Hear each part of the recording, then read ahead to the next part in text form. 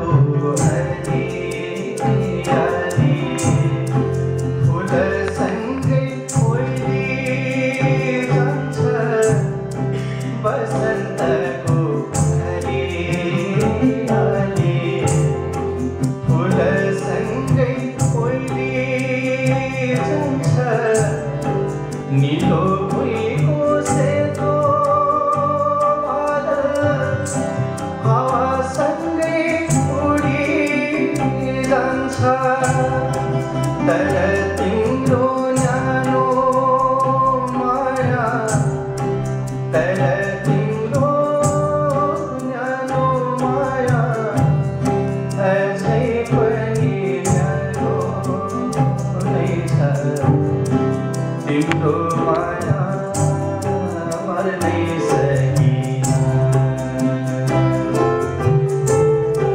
Tinto maya.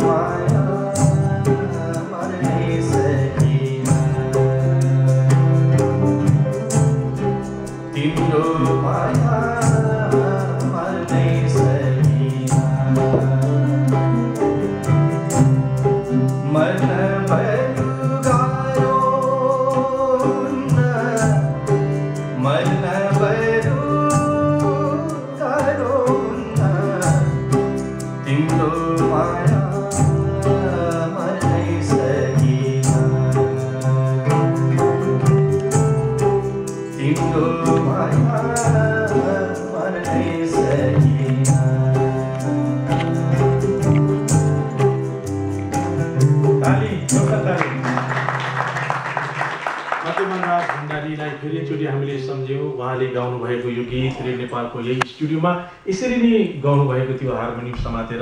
Radio नेपालका वाद्य कलाकारहरूले आफ्नो सिप आफ्नो पौरख आफ्नो सृजना आफ्नो कला आफ्नो कालीगढी प्रस्तुति थियो।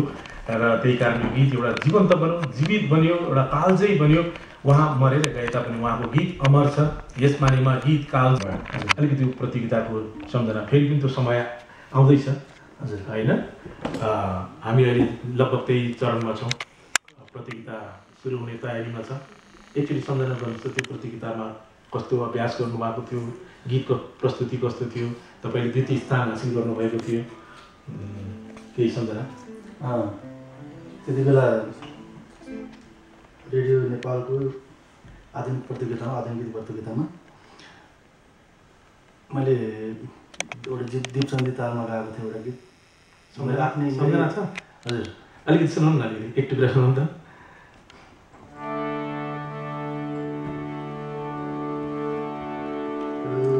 उठाउनु तालमा ताल बिना गाउनुहोस् फ्रेस रङ्गमञ्च छोड्यो तिमीले कथा बाँकी छ दे रङ्गमञ्च छोड्यो तिमीले कथा बाँकी छ दे पाइलाहरू मोड्यो तिमीले। यात्रा बाँकी छ दे पाइलाहरू मोड्यो तिमीले। यात्रा बाँकी छ दे रङ्गमञ्च छोड्यो तिमीले। कथा बाँकी छ कस्तो मिठो। अहिले पनि यस्तो सम्झना। धेरै मिठो गाउनु भएको सायद त्यही मिठासले त्यही प्रस्तुतिले तपाईँको गहकिलो प्रस्तुतिले तपाईँलाई द्वितीय स्थानसम्म पुर्यायो